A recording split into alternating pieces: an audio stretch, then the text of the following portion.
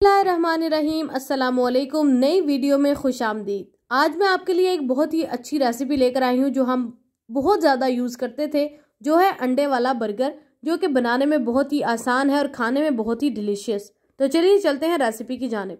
सबसे पहले मैंने फ्राई पैन में ये शामी कबाब मैंने बना के रखे हुए थे। आप लोग भी इसको स्टोर करके रख सकते हैं। अगर आपको मेरी रेसिपी चाहिए हो तो आप लोग कमेंट बॉक्स में बताइएगा। मैं इसका लिंक भी आपके साथ शेयर कर दूँगी।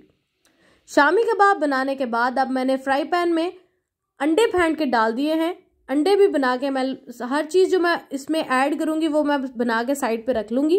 अंडे भी बनाने के बाद अब मैंने बन को सेंटर में से काट के जो है वो कर लिया था। थोड़ा सा मैंने इनको तवे पे करने के बाद अब मैं इसकी जो है सॉस रेडी करी हूँ, जिसमें मैंने मायोनीज ऐड किया है, दही ऐड किया है, ब्लैक पेपर ऐड किया है, जिंजर गार्लिक पेस्ट थोड़ा सा ऐड किया था। सॉल्ट ऐड करेंगे हंसबे ज़रूरत। अच्छे से इस सॉस को बना लेंगे। अब मैं इसमें धनिया जो है, चॉप, वो भी ऐड करी हूँ। ये मैंने इसका रायता टाइप, इसकी ना एक चटनी सी बना ली है, ठीक है? इसके बाद मैं उस पर बन पे इसको अप्लाई करूँगी चटनी को, और उसके बाद अब जो मैंने शामी कबाब बनाए थे, वो इस पे ऐड करूँगी।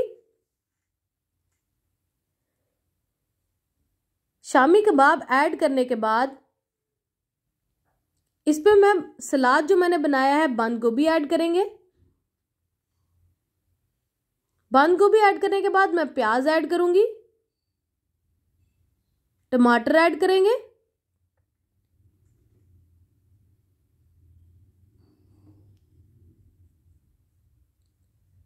खीरा ऐड करेंगे,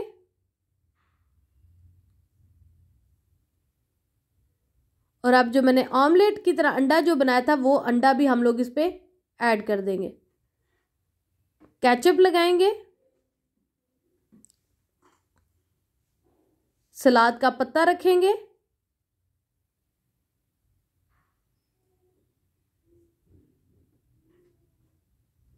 और इसको बन की दूसरी साइड से मैच करते हुए इसको क्लोज कर देंगे।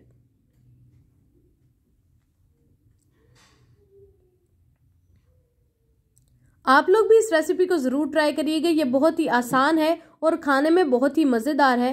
तो आप लोग भी मुझे कमेंट बॉक्स में ज़रूर बताइएगा कि आपका ये कबाब या आपका ये बर्गर कैसा बना तो कमेंट बॉक्स में अपनी राय का इजहार ज़रूर किया कीजिए। और अगर आपको मेरी रेसिपीज़ अच्छी लगती हैं तो काइंडली कमेंट्स हमारे चैनल को सब्सक्राइब भी कर दें और मेरी वीडियो को लाइक ज़रूर किया करें। नेक्स्ट वीडियो तक के लिए इजाज़त दीजिए। अपना बहुत सा ख्याल रखिएगा। अल्लाह हाफिज़।